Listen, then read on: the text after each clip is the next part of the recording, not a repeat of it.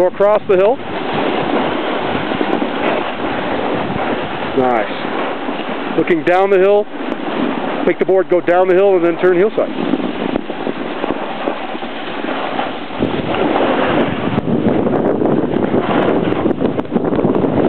Then we'll go right back to your toe side. So make S turns. No more side slipping. S turns, S turns, S turns.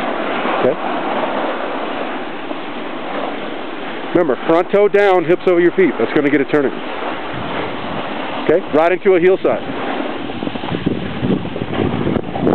Back to a toe side. Hips over your feet. Right into a heel side. Remember, hips over your feet. Nice. Right into a heel side. Slow it down. Back into a toe side.